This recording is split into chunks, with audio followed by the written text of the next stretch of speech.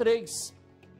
Olha, enfim, o, incêndio né, que consumiu boa parte do Morro da Cruz em Pitangui foi controlado neste fim de semana. Nós mostramos a situação aqui na última sexta-feira, mas graças a Deus, chamas controlada.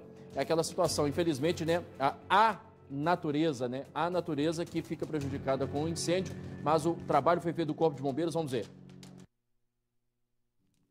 Segundo o Corpo de Bombeiros, o incêndio destruiu cerca de 550 hectares de vegetação. As condições do tempo e a mata fechada dificultaram o combate às chamas. Por mais é, equipes que a gente coloque e, e por mais é, tempo que a gente fique em combate, infelizmente o vento, né, a temperatura muito alta, vegetação está muito seca, então isso tudo desfavorece. Então, em vários momentos, vários locais que a gente conseguiu debelar, né, o incêndio, houve uma, uma reignição, novos focos apareceram, então a gente tem que mobilizar uma equipe novamente para um local que teoricamente já estava sob controle. Nós não temos condições de dispor de muita logística para realizar o trabalho.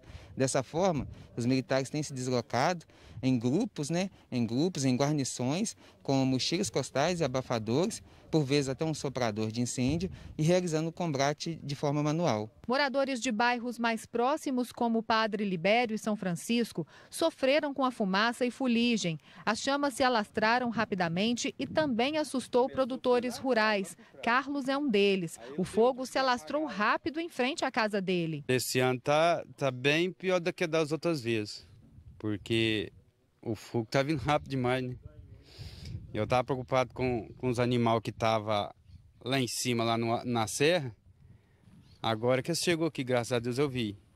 E o gado tá tudo aqui na porta, aqui, por conta que o fogo tá tomando conta lá do pasto. Os militares se concentraram em áreas com moradias próximas para evitar que elas fossem atingidas. Um avião também foi usado no combate às chamas. A aeronave vai, faz esse reabastecimento né, é, com 2 mil litros de água e vai em determinados pontos e, e, e vai fazer o combate naquele determinado ponto.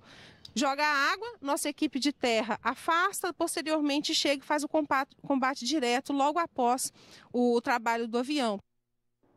Bem, a nossa torcida agora, né, é para a chuva, né? A chuva vem, o pouco de chuva que já cai, né, a natureza já se recupera, né?